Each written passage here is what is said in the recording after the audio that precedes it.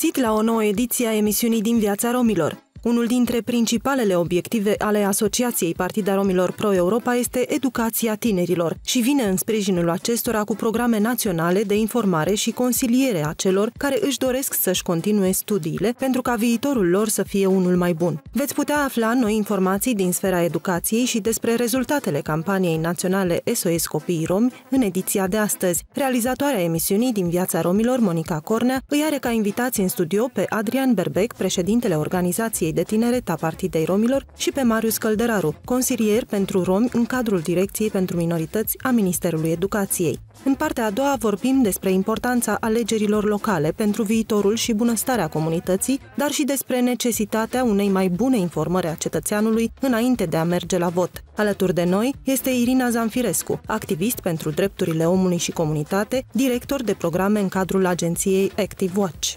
Rămâneți deci alături de noi pentru a descoperi cele mai importante aspecte din viața romilor.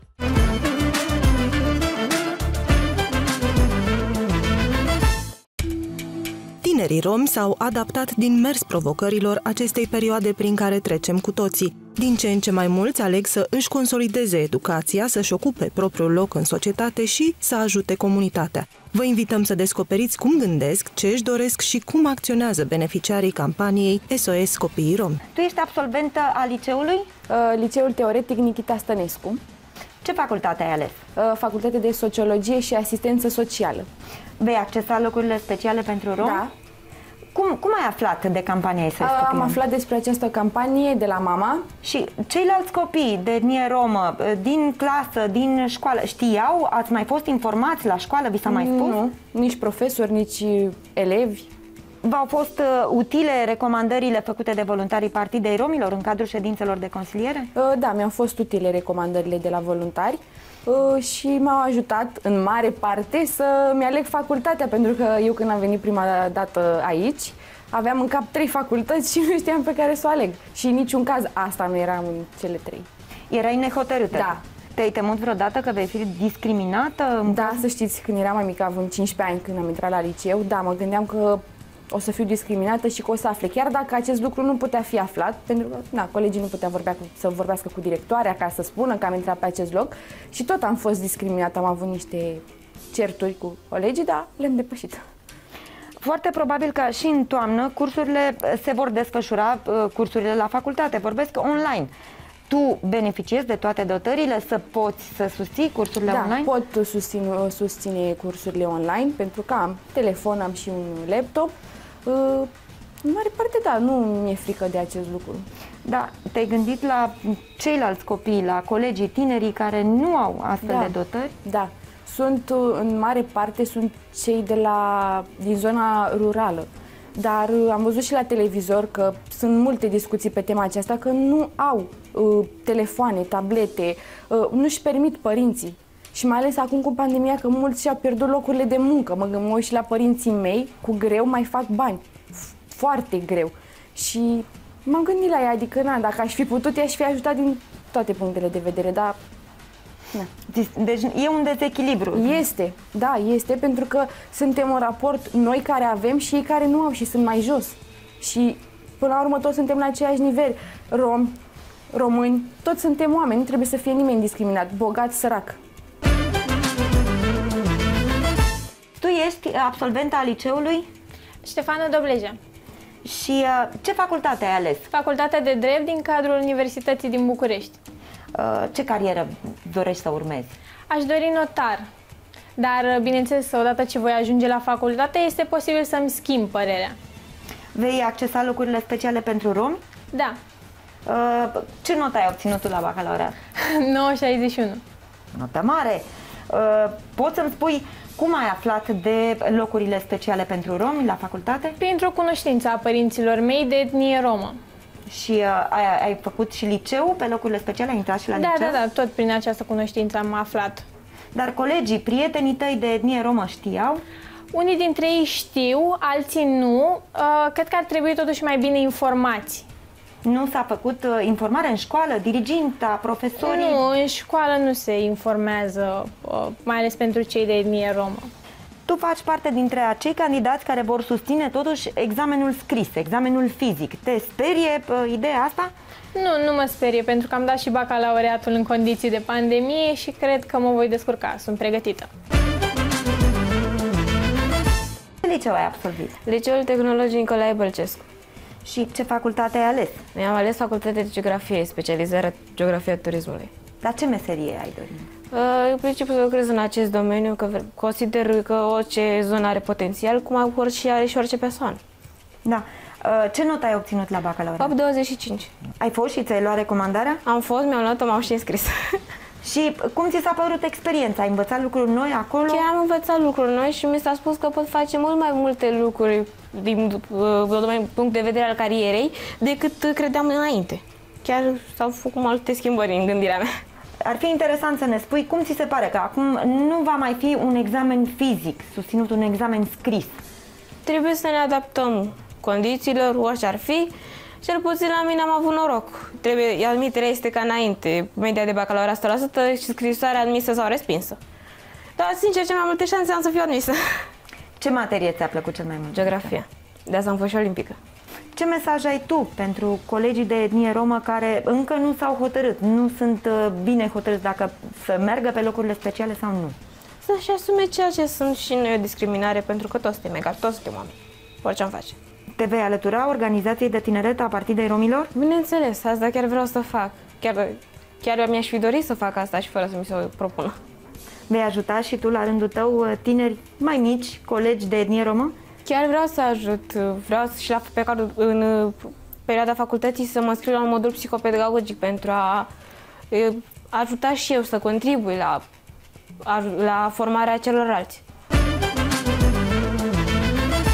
Tu ești deja student, la ce facultate? În prezent sunt anul 2 la Academia de Studii Economice, Facultatea de Economie Agroalimentară și a Mediului din București. În același timp, în paralel, tu faci parte din organizația de tineret a Asociației Partida Romilor Pro-Europa și te-ai implicat în campania SOS Copiii Romi pentru colegi, pentru a ajuta pe colegii tăi mai tineri. Spunem cum s-au derulat uh, acțiunile din cadrul campaniei anul acesta. În acest an, experiența de voluntariat a fost una foarte grea, deoarece am avut un timp foarte scurt pentru a pregăti campania SOS Copiii Romi. În alte dăți începeam din luna februarie, anul acesta am început din luna mai. Ceea ce a fost foarte greu să ajungă informația la toți părinții și la toți elevii de etnie romă. Dar totuși a fost, am făcut față cu brioș și am trecut și de aceea 800, în jur de 800 de elevi au reușit să intre la liceu pe locuri special alocate etniei noastre. Cum ai început tu activitatea de voluntariat? În anul 2018 am venit uh, să-mi iau o recomandare, auzisem de, aceste, mă- de această măsură afirmativă și știam că singurul loc de unde pot lua recomandare este la Partida Romilor. Am venit aici și aici am dat de o echipă foarte dinamică, cu o viziune pentru viitor vastă și am ales să mă alături, ală, să fiu alături de echipă. În primul rând, tinerii care vor să vină la noi la organizația de tineret dau de o familie și de o prietenie foarte strâns legată. Pe lângă faptul că suntem colegi, suntem mai mult de atât prieteni. Și vreau să îndemn pe această cale toți tinerii care, indiferent că sunt de clasa 9, a 10 sau la facultate, master și așa mai departe, îi îndemn să vină la noi la organizația de tineret.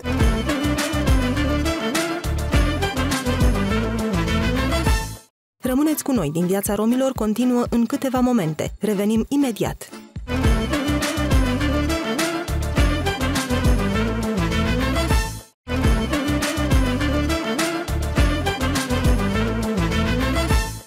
Bună dimineața și bun găsit la o nouă ediție a emisiunii din Viața Romilor. Venim astăzi cu noutăți din uh, sfera educației și îmi face plăcere să vă prezint invitații mei de astăzi, domnul uh, Marius Căldăraru, consilier pentru romi, direcția pentru minorități în cadrul Ministerului Educației și Cercetării. Bună dimineața și bun găsit, domnule Bună dimineața, Căldăraru. bine v-am găsit. Precum și domnul Adrian Berbec, președintele Organizației de Tineret în cadrul uh, Asociației Partida Romilor Pro-Europa. Bună dimineața, domnule Bună Berbec. dimineața și vă mulțumesc pentru invitație. A fost un an uh, atipic. Uh, Tocmai s-au încheiat examenele de evaluare națională, prima etapă a admiterii la liceu. Cum, uh, cum vi se pare că a fost acest an, domnule Căldăraru? Da, a fost un an uh, destul de dificil, cu multe schimbări, cu multe necesități la educație în care, în care copiii au trebuit să, și noi, ca didacție, trebuie să ne adaptăm din mers. Sperăm noi că am făcut uh, față cu brio acestor uh, provocări și sperăm să avem uh, un an fructos la final. Domnule Berbec, așa, în calitatea dumneavoastră de președinte al organizației de tineret, v-ați ocupat activ, eu știu, în susținerea elevilor romi. Care au fost, eu știu, cele mai arzătoare probleme? Cu ce v-ați confruntat Uh, în această perioadă în care a trebuit să oferiți recomandări, să conciliați atâția tineri și părinți până la urmă, pentru că n-au mai fost etapele cu care noi eram obișnuiți să mergem din școală în școală, să uh, vă puteți desfășura această campanie uh, așa cum o făceați în anii precedenți. Este clar că efectele acestei pandemii de COVID-19 și-a, și-a făcut uh, resimțită prezența, iar efectele ei în unele situații au fost chiar devastatoare. În ceea ce privește procesul educațional al tinerilor de etnie romă, țin să trag un uh, semnal de alarmă aici, mai ales că l-avem prezent pe colegul nostru care face parte din Ministerul Educației și Cercetării. Spun eu că ar fi trebuit uh, reglementat acest mod de a învăța online. Este vorba despre învățământ online care uh, pur și simplu nu, nu a fost uh, reglementat sub nicio formă. Nu s-a spus exact ce presupune învățământ online, nu s-a mai urmărit curicula uh, școlară, orele la care elevii, respectiv profesorii, intrau în uh, ședință online sau curs online, erau unele chiar târzii, unii dintre profesori, unii dintre copii chiar mi-au mărturisit că era vorba de ora 20 seara. Uh, cred că aceste lucruri și-au făcut, uh, și-au făcut uh, resimțite prezența atât la nivel psihologic cât și fizic, atât pentru copii, părinți, deopotrivă cadre didactice. Consilierea lor, bineînțeles că nu a mai fost în școală, Bineînțeles că n-am mai putut să mai luăm legătura uh, cu părinții în școală sau cu uh, cadrele, A fost cadrele față de didactice. Da. Uh, la sediu central am încercat pe pe cât de mult să putem să facem acest lucru, luând uh, măsuri de siguranță, păstrând uh, distanța fizică, organizând în uh, curtea sediului nostru patru mese la care exista un, un, un consilier în uh, educație, uh, campanie coordonată de către uh, primul vicepreședinte la nivel național, domnul Cătălin Manea, ajutat, bineînțeles, de colegii din cadrul organizației de tineret. Am reușit ca în perioada 27 mai, respectiv 16 iunie, când a fost ultima zi pentru depunerea recomandărilor la, la școlile gimnaziale de la care proveneau copii, am reușit de am uh, consiliat, informat și eliberat un număr de 470 de recomandări doar pe București. Cu ajutorul uh, platformei online pe care am lansat-o începând cu acest an, datorită acestei uh, pandemii, am reușit de am luat uh, legătura cu peste 300, 300 de, de persoane care au încercat pe cât de mult datorită tehnologiei să, să se pună la punct cu toate cerințele impuse de către uh, procedura pe care am stabilit-o în cadrul organizației și procedură votată de, de altfel de către membrii Consiliului Director al uh, asociației. Uh, la nivel uh, teritorial, uh, sau... O să ajungem și la nivel teritorial. Voiam să-l întreb uh, și pe domnul Căldăraru dacă ați uh, auzit așa din culise de la organizația Partida Romilor. Spuneți-mi cum ați văzut uh, de la minister aceste probleme cu care până la urmă cam toți ne-am confruntat, fie că suntem părinți, uh, copii și chiar uh, îndrumători. Cadrele didactice, cum s-au descurcat? Da, vă dați seama că și la și aceeași presiune, aceleași probleme le-a, le resimțit și noi la, la, în sistemul educațional, deoarece pe lângă faptul că să zicem, s-a modificat modalitatea de a obține acea recomandare, s-a modificat și modalitatea de înscriere, s-a modificat și modalitatea de repartizare, adică anul acesta a fost cu totul și cu totul un an diferit. Dacă până acum copiii depuneau o cerere la inspectoratul școlar, acum nu au depus cerere, au trebuit să obțină mai întâi recomandarea. Uh, recomandarea era documentul care te ajuta să poți să te înscrii pe locurile pentru romi, uh, după care a trebuit să fie, era o repartizare publică, cu ședință publică la nivelul fiecărui SJ. Anul acesta a fost repartizare electronică, da. computerizată. Toți copiii au trebuit să meargă uh, să-și facă opțiunile în unitatea școlară, fie au prin uh, formulare depuse online, după care Ministerul Educației și Cercetării a trebuit să gândească o altă uh, aplicație de repartizare a acestor copii, pentru că repartizarea copilor rom s-a făcut până în data de 6 iulie pentru a da posibilitatea copiilor, în caz că erau nemulțumiți, să meargă și la, reparti, la repartizarea computerizată pentru toți copiii. De anul asta a constat și noutatea, una din noutățile de anul acesta, că copiii au avut posibilitatea, dacă erau nemulțumiți Uh, de modul în care au fost repartizați pe locurile speciale pentru rom, puteau să, puteau opte, să meargă la... puteau să meargă să opteze pentru locurile generale și puteau să-și facă opțiuni și la liceu pe locurile uh, normale. De asemenea, tot uh, o premieră pot să spun că pentru anul acesta este și faptul că mai avem o sesiune în, uh, în curând, nu? Deci copiii de etnie romă, elevii de etnie romă care nu au apucat să se înscrie sau din diferite motive nu s-au uh, prezentat la primul examen pe locurile speciale pentru rom, mai au, mai au o șansă. Una din noutățile de acest, din acest an este faptul că Copiii pot uh, participa și în a doua etapă de repartizare. Copiii erau repartizați, după care locurile pentru romi se, se finalizau, se terminau. Începând de anul acesta, uh, există aceste locurile rămân romilor și în a doua etapă, după soluționarea situațiilor speciale la nivelul fiecărui SJ. Începând de pe 24 iulie până pe 30 iulie, copiii pot să se înscrie pe aceste locuri speciale rămase libere iar între 30 iulie și 3 august are rog repartizarea în a doua etapă.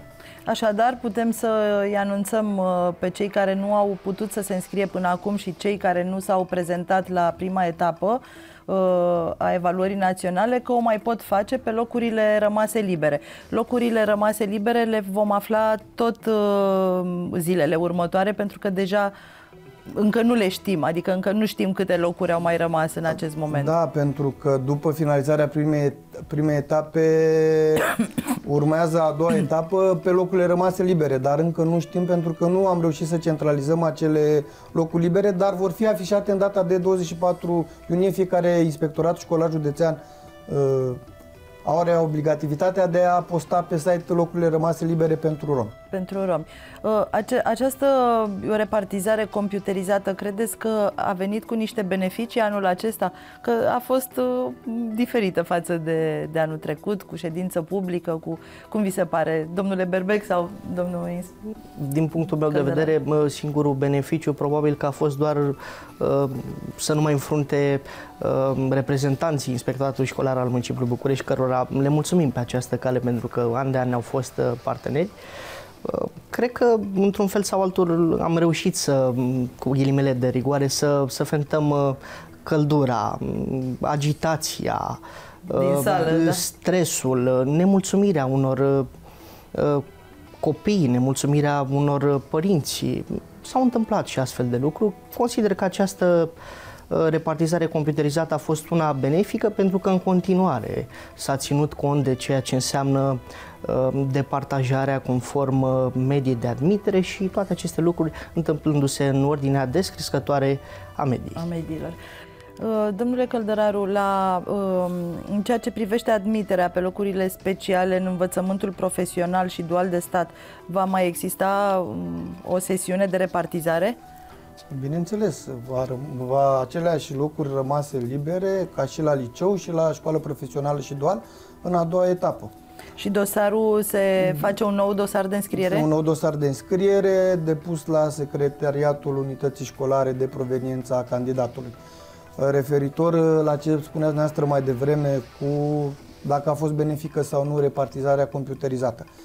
Uh, a fost benefică deoarece a fost, uh, cum să vă zic eu, vorba colegului Adrian Berbec, nu a ținut, nu am evitat agitația, dar din punct de vedere al repartizării, consider eu că nu este eficientă această repartizare, repartizare computerizată, deoarece în ședința publică aveai posibilitatea să-ți dai seama dacă mai sunt locuri libere unde la profilul specializarea domeniul de pregătire care doreai tu să mergi sau nu mai sunt. Acum trebuie să completezi mai multe opțiuni și Pentru să, că nu mai știi absolut nu nimic. mai știi nimic. Într-adevăr, uh, noi în procedură am specificat uh, Inspectoratul Școlare Județene să realizeze o, o, o fișă cu, med, cu mediile descrescătoare care copiii să, pe care să-i ajute pe copii la ori, uh, în orientarea lor pe aceste locuri, dar vă dați seama, acum a intervenit și un nou ordin cu protecția datelor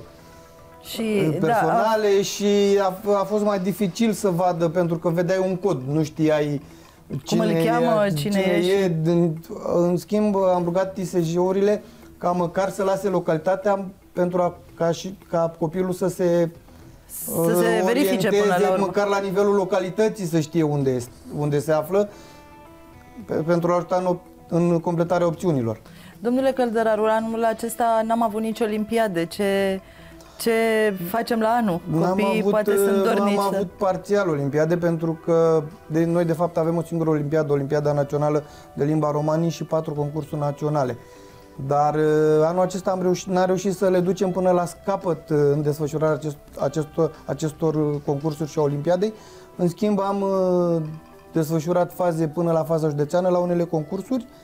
Sperăm că de la anul vom găsi o soluție de desfășurare a acestor concursuri și a Olimpiadei, deoarece se simte nevoia de, de manifestare într-un mediu academic al copilului pentru că vă dați seama, nici la facultate nu s-a putut uh, particip, merge, știți, copiii olimpici au loc au asigurat niște, da, uh, la, da. la facultăți. Anul acesta, datorită faptului că nu s-au desfășurat etapele naționale, nu au putut putut beneficia de aceste locuri. De ele, da. Și am uh, oarecum am pierdut în acest domeniu și plus de asta era un prilej ca noi copiii romi, ca noi profesorii, cadrele didactice, copii, să ne revedem în, și să uh, ne întâlnim. A schimbat uh, multe pandemia în uh, sistemul uh, de educație. Domnule Berbec, uh, având în vedere că mai urmează și înscrierea la facultate, mai avem o sesiune și pentru evaluarea națională, spuneți-mi care este activitatea dumneavoastră acum? Faceți consiliere, primiți din nou tineri pentru recomandări, îi mai consiliați? Ce se întâmplă la Partida Romilor să știe tinerii care vor la să... La Asociația Partida Romilor uh, Pro Europa, bineînțeles că activitatea este una uh, continuă, suntem zi de zi la sediu, uneori a trebuit să fim prezenți la sediu chiar și sâmbătă, chiar și duminica, pentru că v-am spus ceva mai devreme, timpul a fost unul foarte scurt, iar în cele trei săptămâni de zile pe care le-am avut uh, la dispoziție pentru a implementa uh, campania, a trebuit să facem uh, eforturi atât noi cât și părinții care de altfel s-au deplasat la sediul nostru central pentru a veni la ședințele de informare, ședințele de consiliere, respectiv orientare uh, școlară. Lucrul acesta l-am, l-am făcut individual cu fiecare părinte,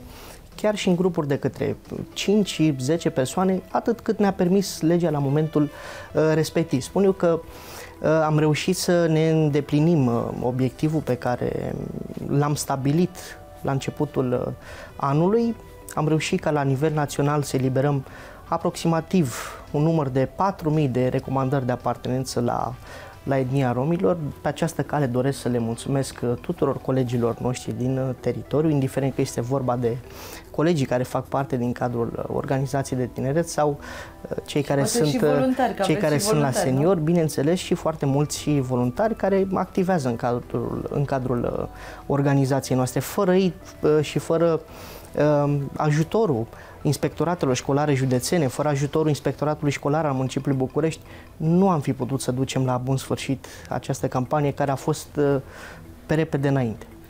Da, a fost o, o, un efort și cred că și din uh, partea dumneavoastră și a părinților, să afle toate informațiile, mie chiar îmi spunea o mămică fără să știe neapărat că am vreo legătură cu Partida Romilor, că uh, a primit toate informațiile și că dacă nu uh, ar fi venit la Partida Romilor să fie învățată, n-ar fi știut să completeze nici coduri, nici... Uh, adică mm, un sistem, uh, poate pentru unii greu, dar uh, cu sprijin, uh, iată că s-a Trebuie, s-a să, putut. trebuie să specific acest lucru. Mă, Fiecare m, candidat care ajunge la sediul asociației noastre, indiferent că este vorba despre un candidat care vine însoțit de părinți pentru a merge la uh, ciclu preuniversitar sau dacă este vorba despre un candidat care vrea să meargă la, uh, la ciclu uh, universitar, îl consiliem și îl orientăm la fel cum am face-o pentru, uh, pentru noi sau pentru un membru al familiei. Facem Astfel cu încât să devotament, înțeleagă până la facem urmă. cu devotament consilierea, o facem cu profesionalism în cazul acelor candidați care nu putem să ajungem la o concluzie m, și să ne dăm seama cu exactitate ce fel de abilități au. Sigur că putem să le aplicăm și un, uh, un chestionar. Este vorba despre metoda Holland, o metodă științifică de identificare a abilităților a unui individ, chestionar în urma căruia noi putem să știm exact ce anume profil uh, i s-ar potrivi candidatului, fie că este vorba de, de liceu, fie că este vorba de facultate. Ce se uh, aude că se va întâmpla din toamnă? Vom merge așa o perioadă? O perioadă cred că se va merge tot pe sistem online. În prezent, Ministerul Educației și Cercetării lucrează la o serie de instrumente care să vină în sprijinul părinților și copilor. Lucrăm chiar la o, la o serie de uh, competențe pierdute, ca să zic eu, în anul trecut, pe care încercăm să le recuperăm în anul acesta. Încercăm să reușim câteva, o structurare a noțiunilor pierdute care să, pe care să le reluăm anul acesta, teste de evaluare inițială. Noi sperăm să înceapă școala cât mai curând, tuturor ne este dor de școală. Domnule Căldăraru, fiind un uh, reprezentant în cadrul Direcției pentru Minorități în uh, Ministerul Educației și Cercetării, spuneți-mi ce uh, probleme s-au îndreptat către dumneavoastră în perioada aceasta, pentru că știm foarte bine că în uh, anumite grupuri uh, vulnerabile, pot să le spun, sau în anumite medii sociale care nu au posibilitatea copiii să învețe online, ce, uh, ce a venit către dumneavoastră? Ce probleme au venit către dumneavoastră în mod special? Uh, Asta a fost una din prin- principale probleme, faptul că copiii nu au avut acces la uh, aceste mijloace de învățământ electronice. Uh, Ministerul a achiziționat de curând o serie de mijloace electronice de învățare, pe, iar în perioada urmea, următoare urmează să, să mâneze aceste tablete, telefoane, laptopuri. Ce s-a putut uh, cumpăra? Ce s-a putut să cumpăra urmează să fie înmânate copiilor care chiar au nevoie de aceste mijloace de învățare. Dumneavoastră personal țineți legătura cu inspectorii pe minorități din țară să știți exact uh, ce și cum, ce probleme sunt, unde. Adică mă interesează cum este filiera ulterior. Să zicem că achiziționăm ca și minister uh, aparatele, uh, care e procedura următoare? Uh, Ca și măștile, știți că măștile au ajuns la inspectorate școlare și inspectoratele inspectoratele le-au- le-au distribuit. Așa și aceste mijloace de învățare vor ajunge la electronice pentru învățare, vor ajunge în ISJ-uri și ISJ-urile se vor ocupa să le distribuie. O să ajungem imediat cu discuția noastră și la mediul universitar, dar uh, vă propun uh, să luăm o scurtă pauză și revenim în câteva minute.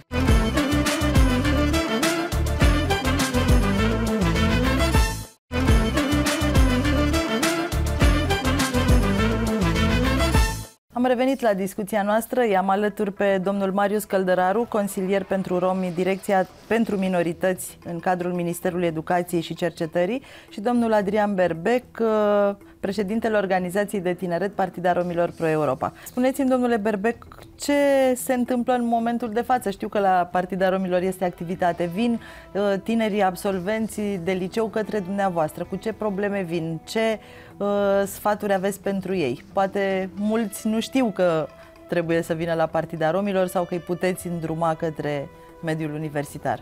Ca să vă răspund punctual, uh, tinerii de etnie romă care doresc să acceadă pe locurile speciale alocate lor în mediul universitar știu de aceste locuri, pentru că am avut uh, uh, grijă ca prin intermediul organizației de tineret, respectiv Asociației Partida Numelor uh, Pro-Europa, să facem această informare în mediul online. Uh, până în prezent am reușit să consiliem un număr de uh, 67 de viitori studenți, să spunem, printre uh, alegerile lor în ceea ce privește uh, profilul unei uh, facultăți și aș putea să spun cu precădere că preferințele se îndreaptă către uh, Universitatea din București, unde de altfel avem uh, un număr de 46 de locuri destinate minorității, minorității rome. Unu, o facultate favorită este facultatea de drept, facultatea de administrare a afacerilor și, bineînțeles, multe, multe alte facultăți, pentru că sunt 19 facultăți în cadrul Universității din București. În cadrul uh, universității sunt, da, 19 facultăți, însă anul acesta, domnule Căldăraru, avem uh, mult mai puține locuri în uh, mediul universitar. Deci făceam o comparație cu locurile speciale pentru romi în învățământul superior de stat uh, față de anul trecut. Uh, diferențele sunt foarte mari. Ce se întâmplă anul acesta, domnule Căldăraru? Toată lumea se întreabă de ce atât de puține locuri pentru romi. Am să încerc să vă dau un răspuns, deși nu intră în area de competență a Direcției Minorități locurile speciale pentru romi în învățământul superior, ca, la, ca și dumneavoastră, ca și reprezentanții comunității rome, ca de altfel toată lumea, am pus și eu aceeași întrebare colegilor mei și mi s-a răspuns următorul lucru. Datorită faptului că nu a existat un document suport în afară de strategia de îmbunătățire a situației romilor care expiră anul acesta și nu a, fost, nu a existat o altă bază legală, uh, Direcția Superior din cadrul Ministerului Educației și Cercetării a considerat să lase numărul de locuri care au fost ocupate anul trecut. Adică au fost ocupate anul trecut 386 de locuri, 386 de locuri avem anul acesta. Deci, practic, uh, anul trecut au rămas niște locuri libere iar anul acesta ce ar fi fost în plus uh, nu s-au mai dat. Nu s-au mai dat datorită faptului că nu a existat uh, cerere. Nu că nu ar fi existat o cerere, cei de la superior, colegii de la superior, spun că nu ar, fi, nu ar exista baza legală deoarece strategia se finalizează anul acesta. Ce ar trebui făcut astfel încât numărul acestor locuri să fie mărite? Pentru că eu deja auzeam discuții și în rândul tinerilor și al părinților că sunt foarte puține locuri față de anii trecuți, comparativ cu anul trecut. Deci la licență 616 locuri, acum 274, la master anul trecut 307, acum 68, la doctorat 75, anul acesta 11. Deci, practic, anul acesta cu peste 600 de locuri uh, speciale, mai puțin față de anul trecut. Am mai spus, în locurile ocupate anul trecut. Adică anul trecut, chiar dacă am avut 1000 de locuri, s-au ocupat 396. Ce putem face sau ce s-ar putea face? Nu deci, știu pentru deja la anul să... am inițiat demersurile necesare și Uh, am, încercăm noi, Direcția Minorității, să realizăm o notă de fundamentare. O să cerem și sprijin Asociației Partidelor Pro Europea și celorlalte asociații, prin care să arătăm că aceste locuri au fost ocupate așa de puțin datorită faptului că să zic eu, nu a fost o ofertă atractivă pentru studenții, pentru viitorii studenți romi și încercăm și printr-o, printr-o o ordin sau printr-o notă să încercăm ca studentul să-și aleagă universitatea în, în cadrul universității, facultatea la care dorește să studieze și nu să repartizeze universitatea. Cred că acest lucru va fi destul de dificil pentru că până acum Cred că una dintre, cumva... cred că una, dacă îmi permiteți, cred că una da. dintre da. abordări ar putea fi ca locurile uh, destinate minorității rome să fie alocate per universitate și nu per facultate per facultate. Astfel, funcție de... De, de dorința fiecăruia, da. Funcție de dorința pe care o are fiecare candidat să poată să ocupe un loc. Exact Iată că anul acesta, anul acesta, comparativ cu anii precedenți, când aveam um, când aveam între 7 și 12 locuri la Academia de Poliție Alexandru Ioan Cuza din Anul București, acesta nu e niciuna. anul acesta nu avem nici măcar un loc. Um, Ca de altfel, făcând referire tot pe această filieră, um, școala de Mă genți de scuzați poliție puțin. Vasile Lascăr din Câmpina, la fel, nu avem locuri. Locuri vor fi. Din ce am discutat eu cu reprezentanții Ministerul, Ministerului Afacerilor Interne, dar deocamdată sunt suspendate uh, examenele și la Academia de Poliție și la Școala de Poliție. Iar am primit asigurări că în momentul în care uh, examenele pentru că ele în, vor, uh, în da, hârtii nu în sunt. care vor relua procedurile de desfășurare a examenelor, și cu siguranță vom mai avea loc. Chiar, chiar dacă vor apărea mai târziu aceste locuri, oferta educațională deja a fost prezentată. Atunci, în rândul candidaților, este instaurată o teamă. O teamă că anul acesta vor rămâne pe din afară, ca să spunem așa, pe, pe românește. Uh, mulți dintre ei au dorit să aleagă un profil din cadrul Academiei de, de Poliție Alexandru Ioan Cuza din București. Și din păcate, la sediul central, împreună cu ceilalți colegi, am fost nevoiți să îi consiliem și să-i direcționăm către, către un alt profil, din păcate. Vreau să-i direcționăm către profilul de drept, da? pentru că se, se îmbină foarte bine. Din păcate, la drept sunt doar două locuri anul acesta.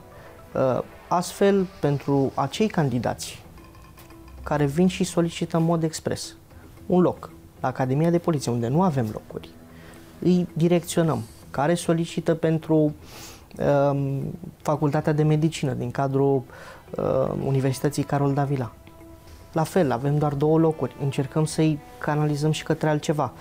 În cazul uh, Universității din București, Facultatea de Biologie, sunt zero locuri. Romii vor să meargă și la biologie, romii vor să studieze și chimia. Iată că anul acesta nu au fost locuri.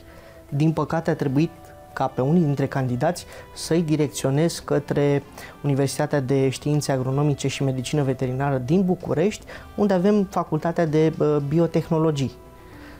E cu totul altceva și Este până cu la totul, urmă, este cu totul altceva, domnule Berbec, însă am putut acești să tineri ocolim într-un fel sau Poate s-au altul. pregătit uh, un an întreg și cu speranța că uh, totuși la Academia de Poliție ai de trecut niște probe sau chiar dacă intri Credeți-mă, sau- unii dintre ei Nu. se pregătesc chiar din clasa 10 Păi, asta Fie că zic. este vorba despre uh, atunci facultatea de ajungi și nu ai medicină, niciun loc acolo. fie Ce că faci? este vorba despre facultatea de poliție, fie că este vorba pentru facultatea de drept, unde trebuie să susțină examen și la, la economie, mulți dintre ei se pregătesc și vin pregătiți în acest sens.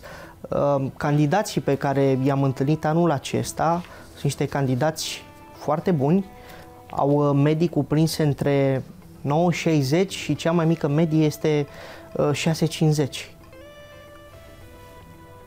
Nivelul de educație al romilor este unul crescut atunci când vorbim de învățământul uh, universitar de stat. Pretențiile lor sunt unele ridicate. Mult, mult mai mulți dintre ei își doresc să depășească acea barieră fizică și psihică pe care de multe ori o au datorită răutăților pe care le văd zi de zi în societatea românească.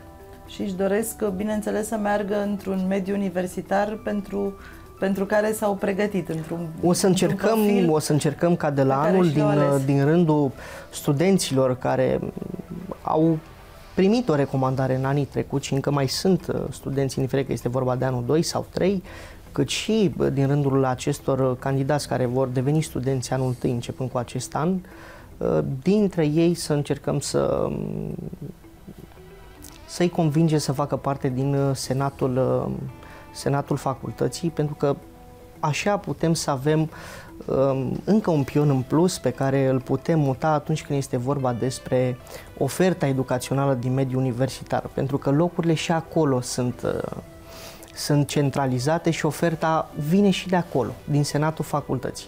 Neavând acolo un, uh, un reprezentant uh, și cu toate efectele pandemiei, iată că am, am resimțit-o pe pielea noastră și viitorii studenți o resimt inclusiv pe pielea lor, chiar și părinții acestora, chiar și societatea într-un fel sau altul suferă din cauza acestui lucru pentru că,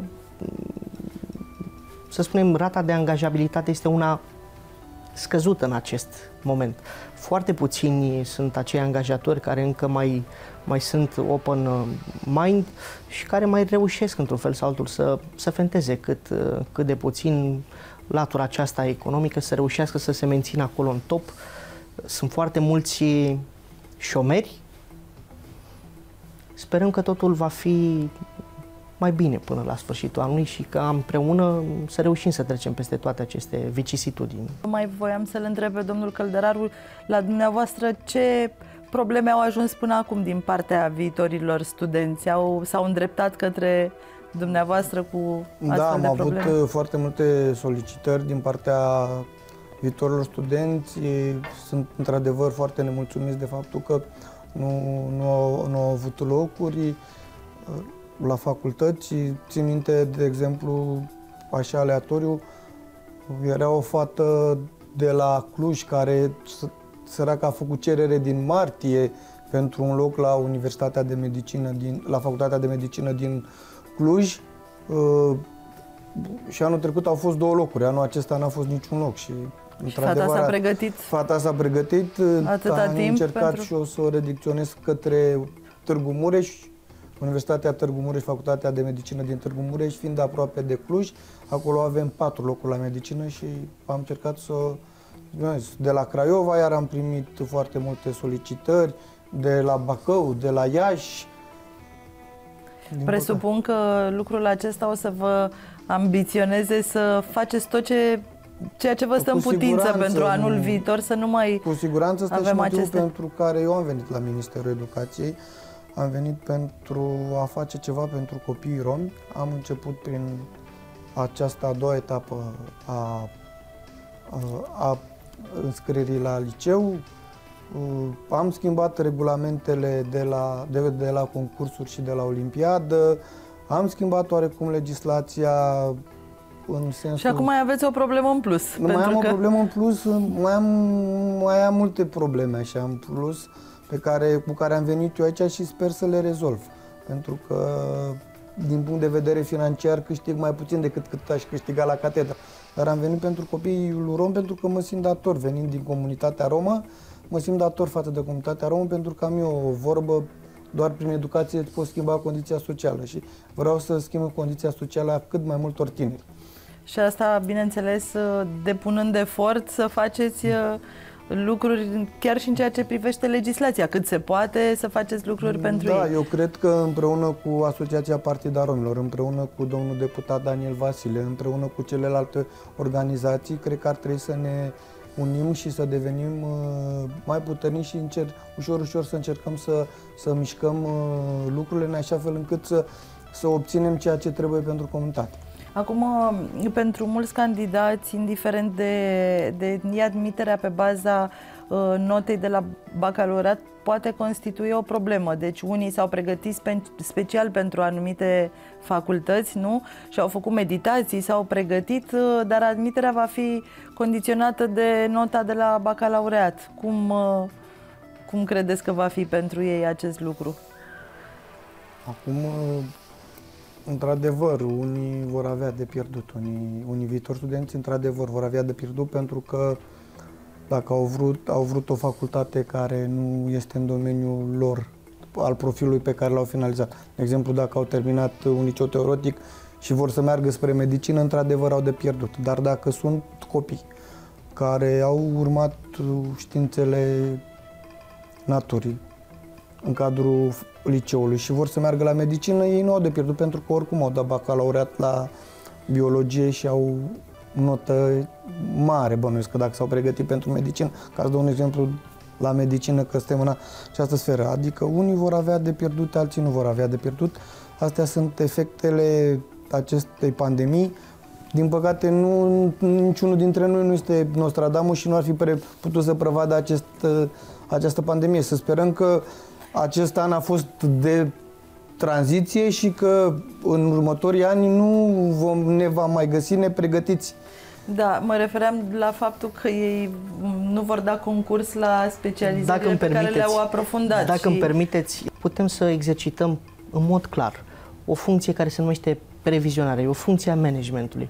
Avem grijă ca toate ingredientele, pornind de la media lor de admitere obținută la uh, examen de bacalaureat, pornind de la media pe care uh, o au în, în clasele 9-12, pornim de la profilul pe care ei l-au studiat la liceu și așa în mod clar putem să facem o consiliere exactă, exactă astfel încât fiecare candidat să poată ocupa un loc. Vă spuneam ceva mai devreme, că sunt candidați care în mod expres doresc o anumită facultate. Cu acei candidați, bineînțeles, că stăm și purtăm discuții care se duc undeva și la 40 de minute, 50 de minute, asta doar pentru a putea uh, să-l informăm și să-l lămurim cu privire la uh, profilul lui și cu privire la oferta educațională de care el uh, poate să poate să dispună. Uh, și în mediul universitar se preconizează că se vor ține cursurile online, că știți, mulți studenți veneau din uh, provincie să studieze la București sau din București să studieze în alt oraș. Adică... Din păcate nu pot să vă răspund la această întrebare. Nu se, nu se știe încă. Nu se știe nimeni pentru că totul este o incertitudine. După cum vedeți, uh, cazurile cresc de la o zi la alta și nu știm ce se poate întâmpla. Adică noi dacă aveam un scenariu, un prim scenariu în care începeam școala în 15 septembrie, acum nu știu cât ne mai putem ține de acel scenariu, deoarece cazurile din ce în ce se mulțesc și nu știu ce se, nu știu ce se va întâmpla. Adică nu sunt în măsură să vă pot răspunde eu la aceste întrebări. Pandemia, până la urmă, nu face nimic altceva decât să ne țină în casă. Însă pentru acei candidați care au disponibil un mijloc electronic, credeți-mă că este foarte ușor și vă spun toate aceste lucruri din perspectiva unui tânăr care până la urmă lucrează cu tinerii, le este foarte ușor, le este foarte facil să poată să se înscrie online.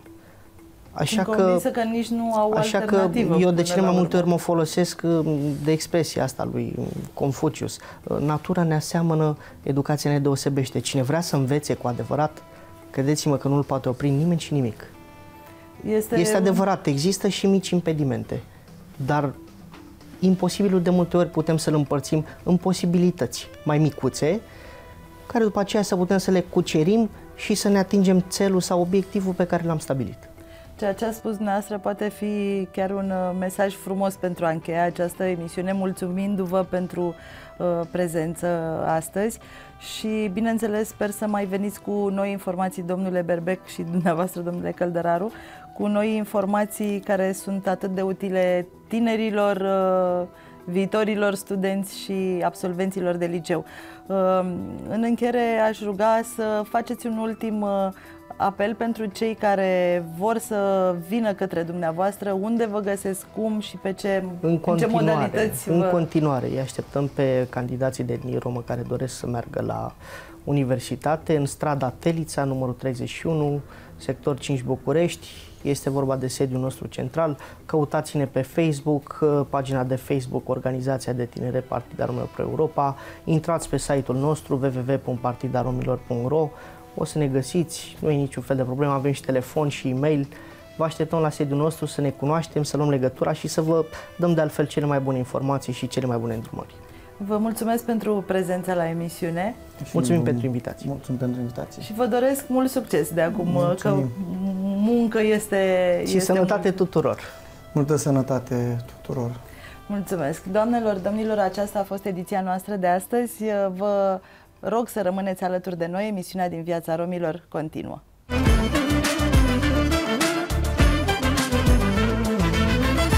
Din viața romilor continuă. După o scurtă pauză vorbim despre alegerile locale cu Irina Zanfirescu, activist pentru drepturile omului și pentru comunitate. Rămâneți cu noi!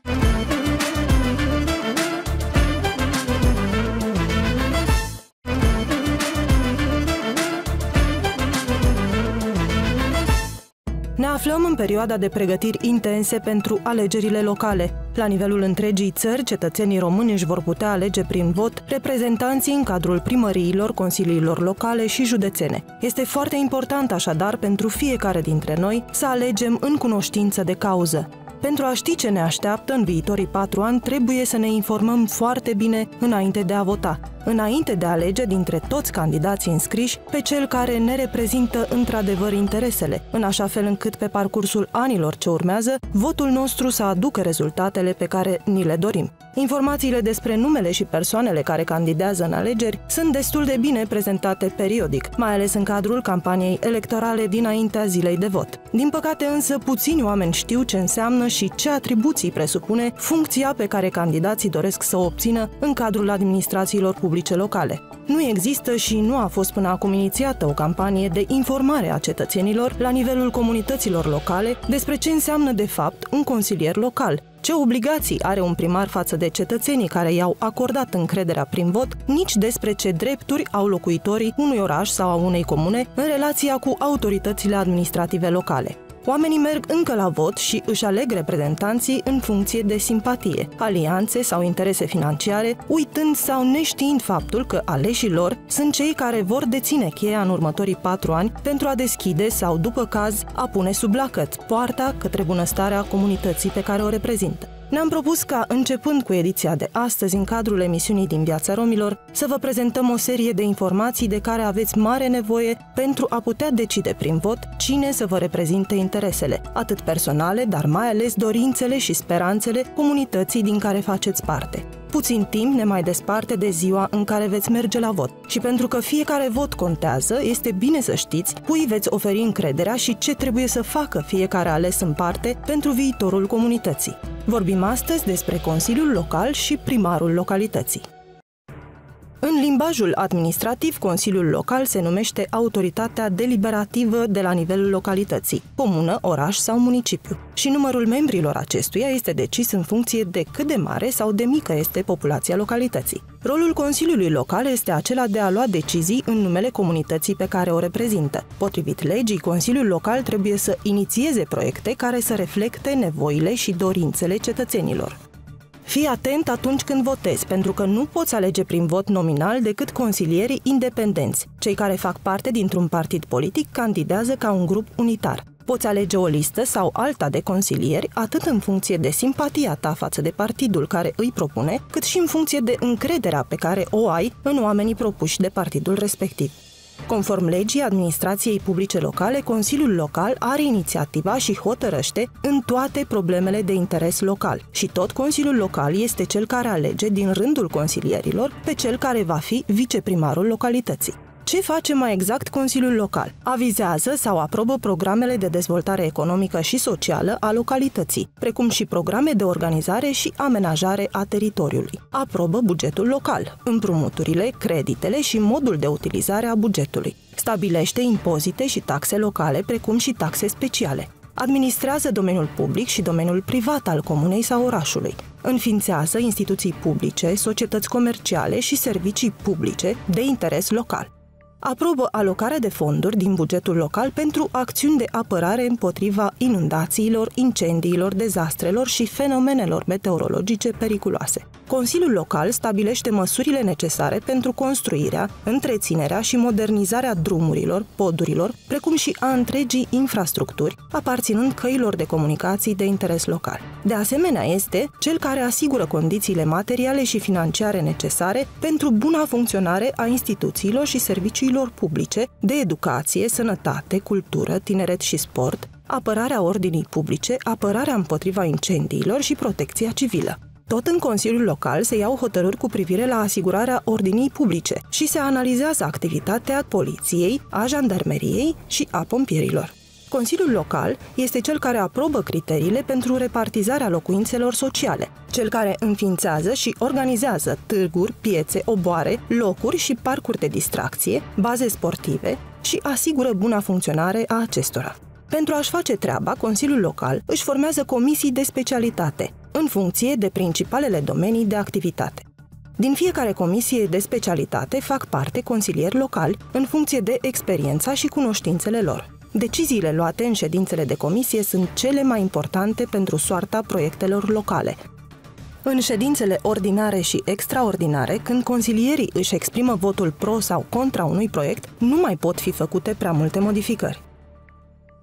Consilierii locali sunt oamenii care decid asupra celor mai importante lucruri de interes public dintr-o localitate. Ei sunt cei care iau măsuri pentru dezvoltarea economică, socială și de mediu a localității cei care decid asupra domeniului public și privat al localității și tot ei sunt cei care iau deciziile privind administrarea serviciilor furnizate către cetățeni, apă, alimentare cu gaze, iluminat public sau salubritate. Tot consilierii locali sunt cei care votează organizarea și funcționarea departamentelor din cadrul primăriei, dar și a instituțiilor și serviciilor publice de interes local, de exemplu poliția locală, protecție și asistență socială și tot consilierii locali decid organizarea și funcționarea societăților comerciale și regiilor autonome de interes local, precum regia de apă sau serviciul de transport public ca să rămână reprezentativ pentru comunitatea în numele căreia ia hotărâri, în afară de activitatea în comisii și de participarea la ședințele Consiliului, un consilier local trebuie să acorde și audiențe cetățenilor, iar periodic trebuie să organizeze întâlniri publice cu locuitorii orașului sau comunei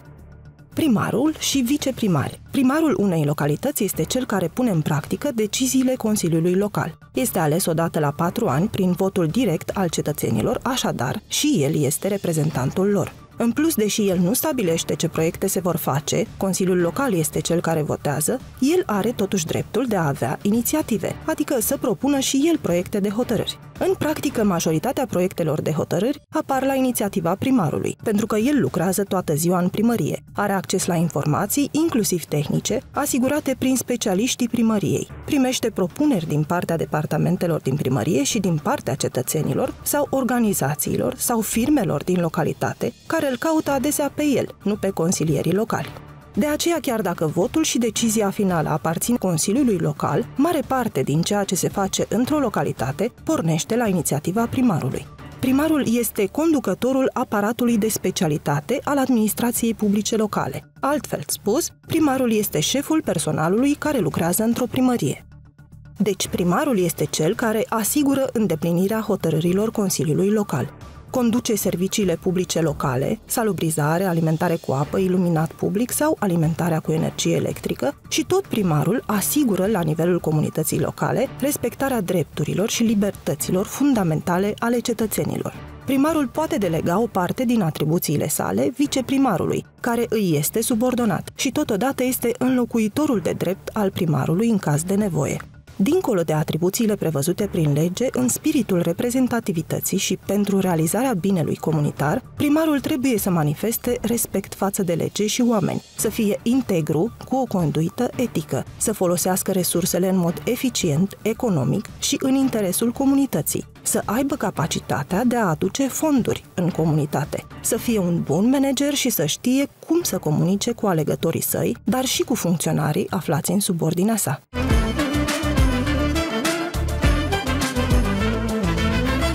Aș vrea să vorbim astăzi uh, puțin despre alegerile locale, care se apropie foarte repede spre noi și uh, despre cât de important este pentru comunități și nu numai pentru comunitățile vulnerabile, ci pentru comunitate în general, cât de importante sunt de fapt aceste alegeri locale. Cred că e important un pic de subliniat că o comunitate vulnerabilă, de cele mai multe ori în România, este o comunitate relativ mică și izolată cumva. Asta este un avantaj din punctul meu de vedere când vine vorba de alegeri locale, pentru că într-o comunitate de genul o comunitate mică, un primar sau un consilier local este mult mai ușor de reperat, este mult mai puternic unul dintre oamenii din comunitate versus ce se întâmplă, spre exemplu, în orașele mari. București, Cluj și chiar orașe mai mici decât aceste orașe mari, unde primarul e relativ o noțiune abstractă pe care o vedem mai degrabă la televizor, mai degrabă pe rețele de socializare, nu e neapărat un om pe care să-l vedem mergând pe stradă printre noi. Deci, cumva, din punctul meu de vedere, este un avantaj uriaș pentru comunitățile mici că își au la îndemână, dacă mi-e permisă exprimarea, uh, alesul local. Este un om pe care îl poate întâlni întâmplător pe stradă. Cât de important e? Din punctul meu de vedere, e vital pentru că avem mai multe straturi de administrație în România. Avem, pe de o parte, administrația superioară, prezidențială, care este o chestie extrem de abstractă pentru noi, în termen de... Eu mă raportez întotdeauna la calitatea vieții cum ce instituție, activitatea cărei instituție are un impact asupra vieții mele. Un președinte e foarte îndepărtat de nevoia mea, de exemplu, de canalizare. După care avem guvernul, avem Consiliul Județean și avem primăria. Uh, primăria, teoretic și practic, de fapt, este acea instituție care are cel mai uh, puternic efect asupra calității vieții oamenilor. Într-o primărie se decide, de exemplu, care este um, ierarhia nevoilor dintr-o comunitate. Pentru că primăria vede și simte pulsul vieții din comunitatea respectivă. Uh, primarul este acela care poate finanța lucrările, sigur, cu sprijin de la alte instituții, dar doar primarul și Consiliul Local este acela care poate solicita sprijin de la instituțiile superioare cu privire la fonduri pentru proiecte mai ample, cum ar fi, nu știu, drumurile. Um, este vital pentru că din păcate nu o să vină niciodată guvernul, de exemplu, să ne bage apă apa este un lucru pe care, de care este responsabil primăria și când vine vorba de rețea și când vine vorba de calitatea apei. Deci lucrurile foarte vitale, lucrurile de la baza nevoilor noastre ca oameni care trăim pe acest pământ sunt în uh, gestiunea primăriilor. De-aia eu cred că este vital când vine vorba de uh, alegeri uh, să fim atenți, pregătiți, să avem noi agenda noastră personală de priorități când vine vorba de calitatea vieții în comunitatea noastră și să știm, bineînțeles, modalitățile prin care să o facem cunoscută către persoanele care doresc să candideze pentru funcțiile din primărie. E important să spunem că dincolo de primar și mai ales uh, lângă el se află Consiliul Local și el este cel care este foarte important pentru comunitate și aș vrea să ne spuneți de ce este Consiliul Local important, poate mult mai important decât primarul. Consiliul Local este mai important decât primarul. Uh, dinamica relației dintre primar și consilier local este destul de simplă. Primarul poate avea idei și să propună proiecte pentru comunitate, dar acele proiecte nu vor fi implementate, nu vor fi derulate în comunitate dacă nu există un vot al Consiliului Local. Deci un primar poate să aibă absolut orice idee, entuziasm, elan gospodăresc în comunitatea respectivă. Dacă Consiliul Local nu este de acord cu ideile primarului, acele proiecte nu pot fi implementate. La fel cum există instituțional pârghii prin care Consiliul Local să fie acela care să propună primarului niște proiecte. Fie că discutăm despre mecanisme uh, informale în sensul în care un consilier local sau un grup de consilieri locali, în urma multor interacțiuni cu oameni din comunitate, a observat că există o problemă comună și să-i propună primarului în birou, măi, avem această problemă, haideți să ne gândim la un proiect care să rezolve problema, fie chiar în cadrul ședințelor de consiliu, ei pot propune și cu o majoritate poate fi uh, instituțional propus acel proiect pentru comunitate. Din păcate, ce am observat că se întâmplă și discutăm aici despre oamenii din orașele mari, um, toată furia și energia cetățenilor se canalizează înspre primar, consilierii de foarte multe ori spre mai de fiecare dată scapă azma curată din orice mandat dezastruos. Oamenii uită că există acești oameni care ei decid cu votul lor ce proiecte și cum sunt proiectele implementate. Uh, și practic ei pot trece printr-un mandat ca niște persoane perfect anonime, cum de foarte multe ori și intră în Consiliul Local, din De asta păcate. aș vrea să discutăm despre consilierii locali și despre faptul că ei sunt reprezentanții, ca și primarul de altfel, reprezentanții comunității, acolo în uh, luarea deciziilor, acolo unde se pune pixul pe hârtie și să ia decizia ce se face într-o comunitate. Și aș vrea să explicați mai mult uh, rolul consilierului local și ce înseamnă de fapt să ai un reprezentant. De ce te ajută și cât de important este să știi că te ajută consilierul local. Sau cel puțin ar trebui să te ajute. Consilierul local eu îl privesc ca o formă de uh, asistent personal al omului din comunitate există inclusiv instrumentul de audiență publică, de care iar noi nu prea facem uz. Din nou, în comunitățile mici s-ar putea să nu fie nevoie de acest instrument instituțional prin care eu să solicit explicit o audiență publică, pentru că, cum spuneam la început, mă pot întâlni cu consilierul local pe stradă întâmplător. Greutatea însă, atunci când eu cer o audiență publică, e mult mai mare, pentru că e o întâlnire oficială între un cetățean și un ales local. Deci consilierul local poate culege de la oamenii din comunitate, pe de o parte, un cumul de probleme pe care oamenii simt că primăria nu-l rezolvă prin proiectele pe care le propune și pe de altă parte, poate inclusiv consilierul local să strângă uh, feedback-ul cetățenilor. Ce părere au cetățenii cu privire la anumite proiecte, la anumite uh, inițiative ale primăriei uh, comunității respective.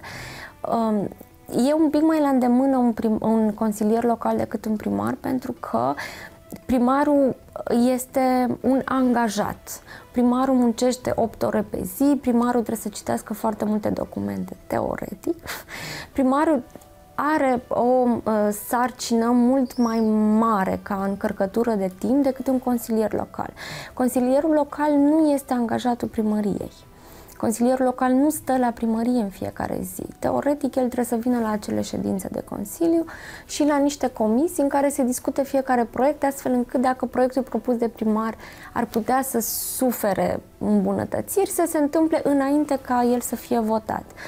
Um, deci un primar cel puțin teoretic, un consilier local cel puțin teoretic ar trebui să fie un pic mai accesibil decât un primar. Spun cel puțin teoretic pentru că știu cazuri din mediul rural în care de fapt consilierii locali din păcate nu locuiesc în comunitatea respectivă. Sunt consilieri care locuiesc în orașele învecinate, vin la ședințe. Um, e un fenomen destul de trist din punctul meu de vedere pentru că este foarte important ca un consilier local să fie un locuitor al comunității pe care o, o reprezintă, pentru că doar așa poți să înțelegi în mod real care este problema comunității tale, în mod real nevoia comunității locale.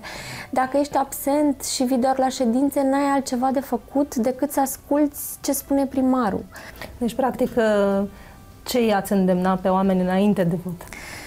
Înainte de vot, foarte mult dialog, să-i caute în comunitate, să le explice care sunt nevoile lor, mai ales că în această perioadă, până în, la mijlocul lui august, teoretic, încă se construiesc cam, uh, platformele electorale setul acela de promisiuni. Cetățenii în continuare pot să pună ei pe agenda unei platforme electorale problemele locale. I-aș căuta, le-aș explica care sunt nevoile mele în momentul ăsta, după care în campania electorală ea și urmări prin comunități să întreb acele lucruri extrem de concrete. Când faceți, cum faceți, când veniți să ne dea socoteală, lucruri de genul ăsta. Lucruri, dacă vreți exact să se gândească oamenii uh, atunci când își construiesc, nu știu, să zicem un gard, îți faci un plan în cap. Băi, pentru gard trebuie să pun mâna să strâng bani să cumpăr lemn, trebuie să uh, sap o fundație, trebuie să cumpăr cimentul pentru fundație, să, să cum gândești în etape un proiect de genul ăsta la tine în gospodărie, să gândești un proiect pentru aleșii locali.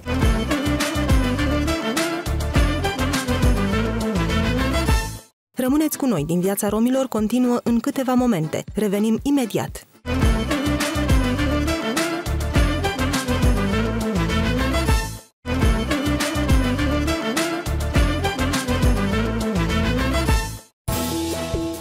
Într-o societate divizată și marcată profund de evenimente dramatice, comunitatea romilor din România are nevoie de inițiative și acțiuni concrete. Pentru a se asigura că interesele romilor vor fi solid reprezentate la nivelul administrației publice locale și județene, Asociația Partida Romilor Pro-Europa poartă negocieri și stabilește colaborări cu forțele politice din țară. Vorbim așadar uh, despre alegeri locale și despre faptul că se apropie și trebuie să fim cu toții pregătiți. Asociația Partida Romilor Pro-Europa lucrează uh, zilele acestea la protocoale cu diferite partide politice care să ajute comunitățile în continuare pentru viitorii patru ani și de atunci înainte.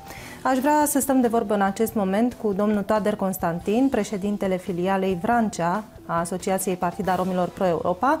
Bună ziua, bine ați venit alături de noi. Mulțumim foarte mult că sunteți astăzi alături de noi. Bună ziua, să rămână. Domnule Toader Constantin, știm că acum foarte scurt timp s-a întâmplat un protocol între dumneavoastră și unul din partidele politice destul de puternice în acest moment în România.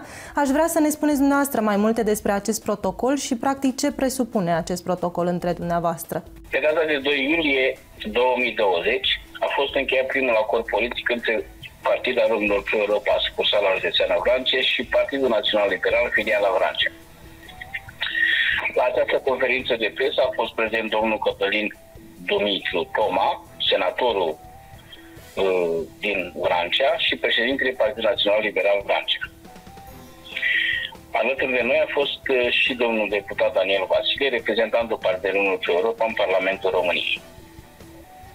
Conform acestui, acestui acord de parteneriat, avem uh, din partea organizației PND Vrancea 11 locuri în 11 localități de consilieri locali pe listele Partidului Național Liberal Francia. Astfel, Partidul Românilor Pro Europa va avea candidați pe listele Partidului Național Liberal pe locurile eligibile în municipiul Focșani, în municipiul Azut, orașul Mădășești, orașul Panciu, Vidra, Suraia, Vulturul Măicănești, Sigrea, Tâmboiești și, bineînțeles, la Slobozia Bradului, unde reprezentantul din partea noastră și membru organizației Partidului Europa, Melin Ivancea, unde va candida ca primar. și în afară de asta avem și un post uh, eligibil uh, la Consiliul Județean Vrancea ca și consilier județean. Practic, ce sperați uh, în urma acestui parteneriat pe care l-ați încheiat alături de Partidul Național Liberal? Este un acord care vizează participarea românilor la luarea deciziilor în comunitate în care trăiesc. Alegerile locale sunt cele mai importante și sper că la acest acord să adere și alte forțe politice, bineînțeles, să ne sprijine atât pe noi cât și organizația PND Vrancea. Uh, de 28 de ani în Vrancea nu s-a întâmplat anumite lucruri de acest gen. Totuși am așteptat ca cineva dintre aceste organizații politice să ne cheme la masă discuțiilor unde să putem încheia acest acord de susținere politică și în care să avem uh, reprezentanți în Consiliul Local, Consiliul Județean pe vreo de patru ani de zile. Noi am mai discutat de-a lungul emisiilor noastre din viața romilor despre faptul că este foarte important pentru comunități să aibă o reprezentare în cadrul structurilor locale. Credeți că oamenii au înțeles că au nevoie de acești reprezentanți? Eu consider că oamenii au înțeles în, în totalitate ceea ce înseamnă să avem reprezentanți în instituțiile publice locale.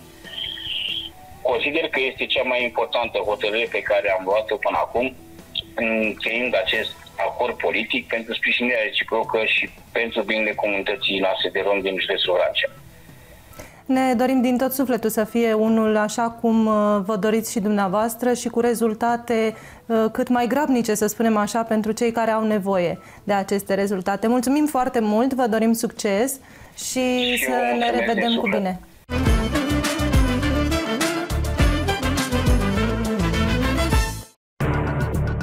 În județul Ialomița, Asociația Partida Romilor Pro-Europa a semnat de curând un protocol de colaborare cu Partidul Social Democrat pentru alegerile locale din toamnă. Aici Partidul Social Democrat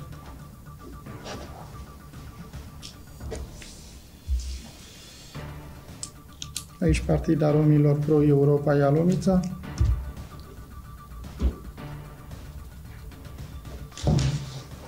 Să fie într-un gest bun. Domnul președinte, Amabil. să obținem ceea ce ne dorim. Să obținem ceea ce cel mai bine pentru județ. va fi mult mai mare după alegerile locale. Cu siguranță, cu siguranță. Doamne ajută!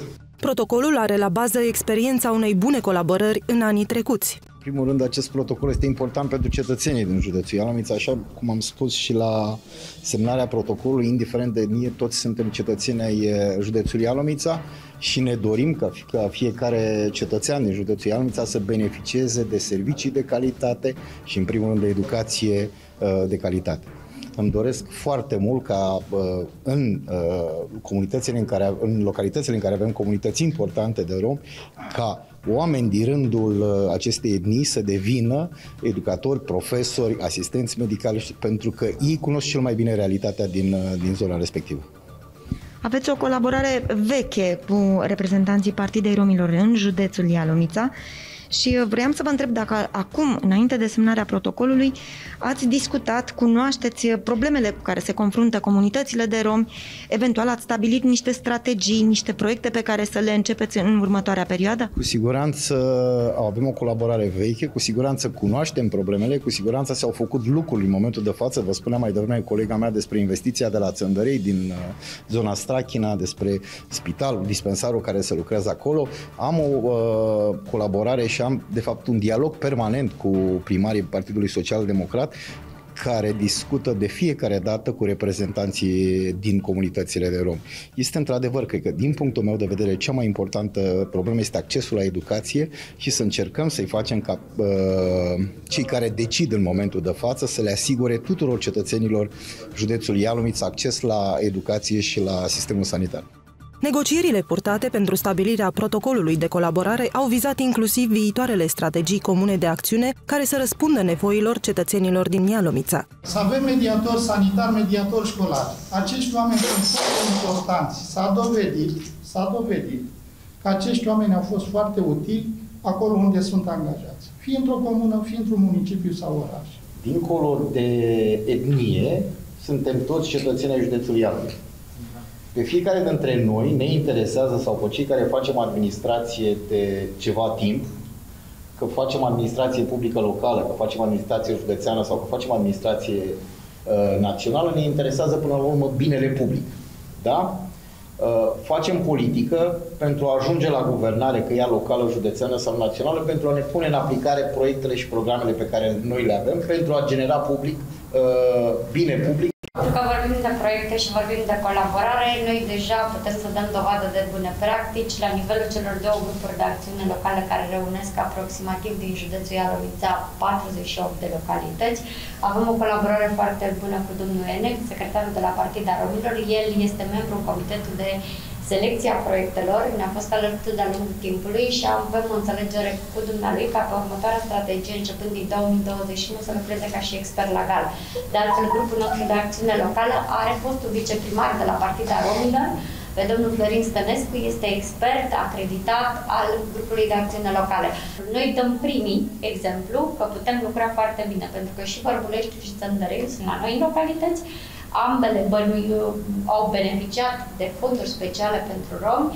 Se face spitalul de la, um, ziceți, din Strachina, este fundamentat și finanțat de noi doar pentru um, etnie și cu, cu tot ceea ce întâmplă. Avem la Borănești un teren de sport, tot la fel, la inițiativa colegului dumneavoastră. La sediul Partidei Romilor din județul Ialomița, grupul de lucru al organizației pregătește îndeplinirea atribuțiilor prevăzute de protocolul de colaborare. Domnule președinte, ce prevede protocolul pe care tocmai l-ați semnat astăzi și de ce este el important pentru romii din județul Ialomița?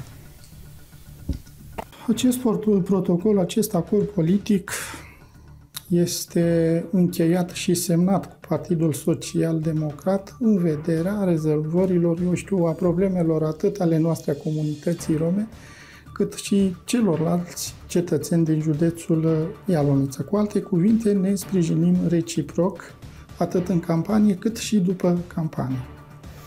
Ca reprezentant al Partidei Romilor cu experiență în administrație publică, Spuneți-ne de ce este bine ca romii să fie reprezentați la nivelul administrației publice locale și județene? Prin reprezentare ne certificăm prezența noastră în județul Ialomița. Eu, ca și experiență, am patru mandate de ales local și știu ce înseamnă. Este foarte important ca, virgul acolo, unde avem o comunitate destul de importantă din punct de vedere numeric, să avem și aleși locali oameni pricepuți, oameni pregătiți, oameni care să ia parte la actul deciziilor din comunitatea de unde aparțin. Fie că este municipiu, fie că este oraș, fie că este comun. Important este ca noi, cei care reprezentăm această comunitate, să găsim oamenii cei mai potriviți pentru a ocupa acest post. Tocmai pentru aceasta am găsit noi că este necesar să avem un acord politic, să avem un protocol, o înțelegere cu unul dintre partidele cele mai mari ale județului Alonița, Partidul Social Democrat, care întotdeauna a fost partidul numărul 1 al județului și era normal ca și noi să mergem cu cineva care este puternic, atâta timp cât dânsii sunt puternici, automat și noi devenim puternici. Am discutat cu dânsii, avem niște prevederi în acest acord politic prin care trebuie să le respectăm, prin care trebuie să ne sprijinim reciproc și fiecare formațiune, normal, își caută să-și atingă scopul, da? Fiecare avem interesul propriu și cred eu că prin uh, această alianță, prin acest acord politic, ne vom atinge scopurile ambele organizații. Trecem printr-o perioadă grea și sunt multe sate și comune cu populație mare de romi în județul Ialomița care au nevoie urgent de inițiative, de măsuri uh, care să le îmbunătățească viața. Să înțelegem că este deja negociată o strategie de acțiune cu partenerii cu care tocmai ați semnat acest protocol. Avem câteva domenii care sunt prevăzute în acest acord politic, cum ar fi domeniul educației, domeniul sănătății, domeniul dezvoltării locale, domeniul culturii și așa mai departe. Deci avem o serie întreagă da, de problematici care sper eu să le îmbunătățim acolo unde deja am început și am lucrat pe, pe aceste, aceste domenii, să găsim soluțiile necesare pentru rezolvarea acestor probleme. Să știți că noi, Partida Romilor, în fiecare an, deja avem un plan. La începutul anului, deja avem un plan de activități. Da? Un plan de acțiuni. Anul ăsta a fost puțin mai dificil, știți de ce? Pentru că am avut pandemia asta și de multe ori ne-am predicat să punem în practică ceea ce avem noi ca și proiecte, ca și planuri, dar sper ca pe viitor să scăpăm de această pandemie și să revenim la normal, să ne punem în practică și să conlucrăm și cu partenerii noștri de la Partidul Social Democrat uh, și Consiliul Județean pentru a îmbunătăți ceea ce noi am făcut de vreo 5-6 ani noi avem în jur de aproape 30 de comunități, mai mari sau mai mici, dar fiecare comunitate trebuie să dea câte un număr de aleși locali. Spre exemplu, cum este Bărbulești. La Bărbulești trebuie să avem cel puțin 8 consilieri din 15, să avem majoritatea în Consiliul Local și să avem primar, viceprimar. Uh, în alte localități trebuie să avem câte 2-3 aleși și când spun asta, o spun din experiență pentru că noi oricum, și când am mers pe lista Partidei Romilor, adică singur, fără alianță, am avut rezultatele astea de care spuneam acum. Noi, dacă ar fi să mergem doar pe Partida Romilor, cu siguranță am avea cel puțin 20-25 de aleși locali pe Partida Romilor. Ă, acum, dacă avem această alianță, este normal să îmbunătățim acest număr, este normal să fim mult mai mulți, dar și mai buni și sunt sigur că pentru următorii patru ani am făcut uh, o analiză, am făcut alegerea care cred eu că este cea mai potrivită.